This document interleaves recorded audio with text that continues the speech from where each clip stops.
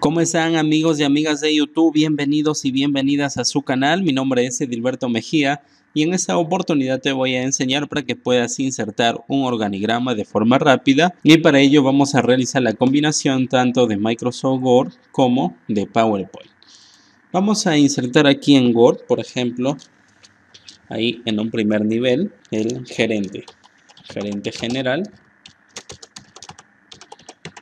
Debajo vamos a presionar la tecla Tab para disminuir de nivel y aquí vamos a considerar operaciones,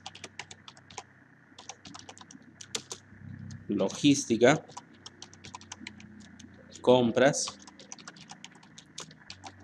ventas y dentro de operaciones vamos a considerar, presionamos un Enter y cuando está ahí en el segundo nivel presionamos nuevamente la tecla Tab para pasar a otro nivel.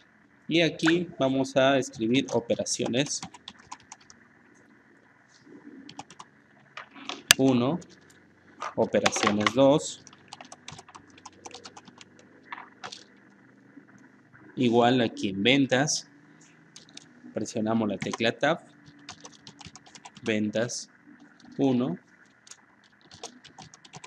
ventas 2,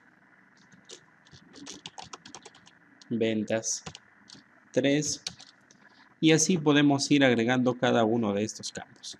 Aquí vamos a hacer otro espacio para insertar un siguiente nivel que le vamos a llamar contabilidad.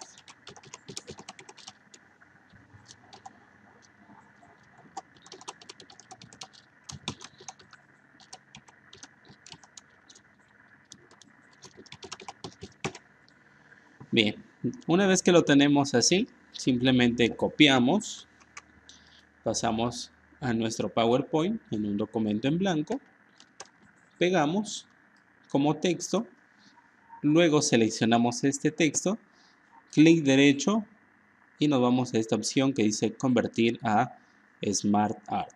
Ingresamos aquí y como puedes ver aquí tenemos la función de organigramas y como puedes ver aquí tenemos la opción para el organigrama ampliamos ahí y ya lo tenemos. Operaciones con sus respectivos cargos inferiores, igual en ventas y también en la parte de contabilidad. Una vez que tenemos aquí en nuestro PowerPoint que nos sirvió como puente, podemos regresar e insertarlo aquí en nuestro archivo de Word.